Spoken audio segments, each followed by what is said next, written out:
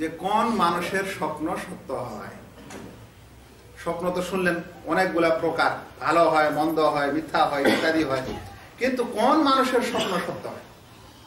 সব মানুষের স্বপ্ন সত্য হয়? প্রথমত নবীগণের সমস্ত স্বপ্ন কি হয়? সত্য। অতঃপর যারা বেশি সৎ মানুষ এবং কথাবার্তায় বেশি সত্যবাদী, তাদের স্বপ্ন বেশি সত্য হয়। আল্লাহ রসুল সাল্লাম বলছেন ওলাম তাকাদ রুইয়াল মুসলিম যখন কিয়ামত নিকটে আসবে, তখন মুসলিম ব্যক্তির স্বপ্ন কুচিত কম হবে কুচিত অসত্য হবে। যখন কিয়ামত নিকটে আসবে, তখন মুসলিম ব্যক্তির স্বপ্ন কুচিত অসত্য হবে। মানে বেশিরভাগ স্বপ্ন কি হবে? সত্য হবে। তারপরে বলছেন, ওয়া আসদাকুকুম রুইয়া, আসদাকুকুম হাদিসা। তোমাদের মধ্যে সত্য স্বপ্ন তারই হবে যে তার কথায় সত্য। যে তার কথাবার্তায় সত্য, তার স্বপ্ন বেশি সত্য। তাহলে মিথ্যুক মানুষের স্বপ্ন কি হয়? বেশি মিথ্যা হয়। হাদিসটিকে ইমাম মুসলিম বর্ণনা করছেন দুই হাজার দুশো তেষট্টি নম্বর হাদিসে। এই কারণে ওলামাই কেরাম বলছেন যে মানুষের মধ্যে নবীদের স্বপ্ন সত্য। তারপরে যারা সবচেয়ে সৎ মানুষ, তাদের স্বপ্ন বেশি সত্য।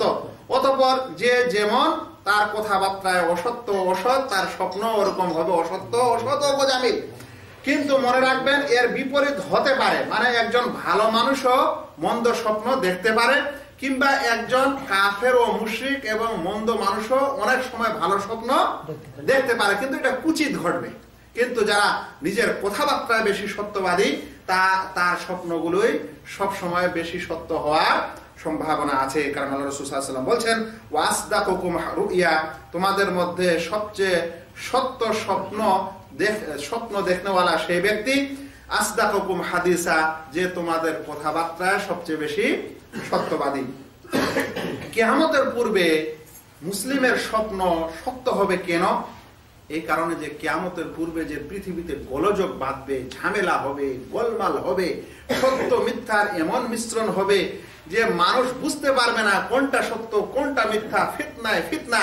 এই সময় আল্লাহ রাবুল আলমিন এই সত্যবাদী মুসলিমদেরকে এমন স্বপ্ন দেখাবেন যেগুলো সত্য হবে, যার মাধ্যমে সে তার ইমান মজবুত থাকবে এবং সে শান্তিতে থাকবে এবং তার তার যেন অন্তর দৃঢ় থাকে ইসলামের উপর, সেই কারণেই এরকম হবে।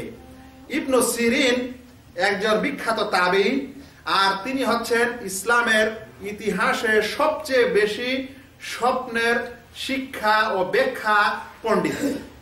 তার নাম হচ্ছে ইবনে সিরিন। তিনি বলছেন, আহসেনু ফি ইয়াকদাতিকুম, ইউহসিন লাকুম ফি মানামিকুম।